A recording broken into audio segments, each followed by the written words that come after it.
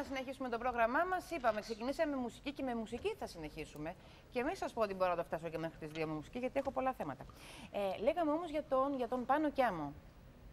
Πάμε να ακούσουμε τι μας λέει και να ακούσουμε και λίγο τα τραγούδια του που μας αρέσουν πολύ. Οι αγάπες πονάνε Σαν κρυσταλλά πέφτουν και σπάνε Και κόβουν βαθιά Μετά την τεράστια επιτυχία του single Crystal, ο Πάνος Κιάμος παρουσίασε για πρώτη φορά την ολοκληρωμένη δισκογραφική του δουλειά, η οποία αποτελείται από 16 τραγούδια και αναμένεται να κυκλοφορήσει στις 26 Ιουνίου.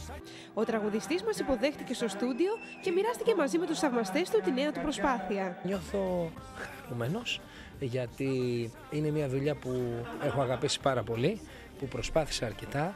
Ε, ελπίζω ο κόσμος ε, να βρει τραγούδια που θα, πραγματικά θα αγαπήσει. Ε, και ταυτόχρονα με τη χαρά της κυκλοφορίας έχουμε φυσικά και το άγχος γιατί όταν κυκλοφορεί ένας καινούριος δίσκος ε, υπάρχει το άγχος αν ε, ε, θα αρέσει, αν θα αγαπηθεί από τον κόσμο. Εμένα γενικά μου αρέσει να κάνω πειράματα. Νομίζω ότι και στον κόσμο α, αρέσει αυτό το πράγμα, να μην είμαστε μονότονοι ε, και να μην ε, ε, εμένα μου αρέσει ε, ο κόσμος που ακούει πάνω κι άμμο να λέει θα βγει με ρούμπα, θα βγει με κάτι αργό, θα βγει με κάτι γρήγορο. Μου αρέσει να υπάρχει ε, το, το στοιχείο της έκπληξης μέσα σε ένα δίσκο και πάντα προσπαθώ ε, μέσα στα τραγούδια να έχω, ε, μέσα στα τραγούδια τα οποία επιλέγω να υπάρχουν κάποιες εκπλήξεις.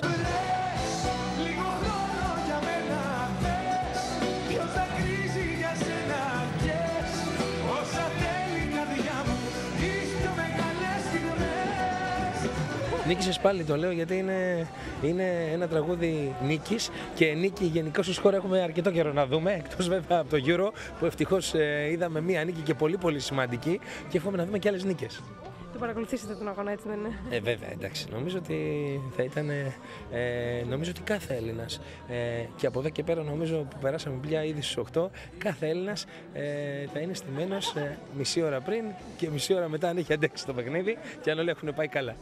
Πέρασαν και οι εκλογές, υπήρχε και αυτό ένα άγχος. Εσείς είχατε αγχωθεί.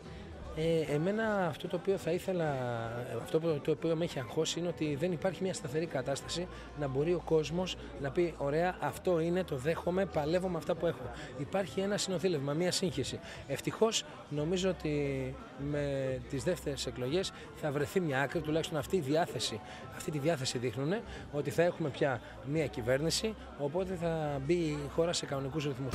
Άσε με μια νύχτα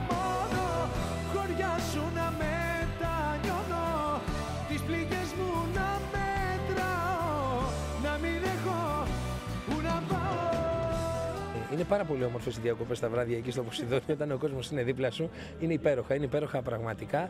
Περνάμε πολύ όμορφα ε, και ακόμα δεν μπορώ να πω ότι μου έχει λείψει. Δεν νιώθω ε, κουρασμένος από τη δουλειά μου γιατί ε, ο κόσμος μου δίνει τόσο αγάπη που αυτό μετατρέπεται και σε ενέργεια.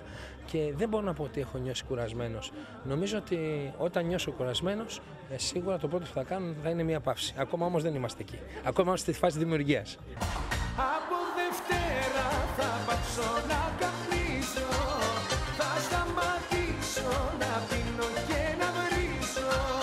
Χωρίς εσένα θα πάω παραπέρα.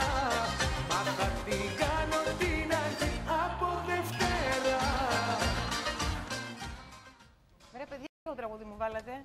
Τέσσερα Τόσα τραγούδια. τραγούδια έχει ο άνθρωπος να πει. Του τα κόψατε. ε. Στα 3,5 λεπτά άκουσε τέσσερα Τι να τραγούδια. κάναμε λέει. τον Μπεν Χουρ, να κάναμε με τραγούδια του Κιάμου. Παιδιά, που σας έχω πει και λίγη μουσική να ακούμε. Ναι, λένε, ναι, μετά θα γινόταν 7 Τόσα λεπτά. εντάξει. Να πούμε ότι είναι και υποψήφιος στην, στην αγαπημένη σου κατηγορία. Ατάκα της χρονιάς. Α, σχεδόν πάντα είναι. Πάντα νομίζω. είναι. Και έχει Πάντα. πάρει και βραβεία. Σταμάτα για εγώ. αυτή την Σφύριξε και κατηγορία. έλειξε γι' αυτό. Πώς; Το σφύριξε και έλειξε. Α, Πέρυσι. Προσγειωμένο παιδί, ωραίος άνθρωπος.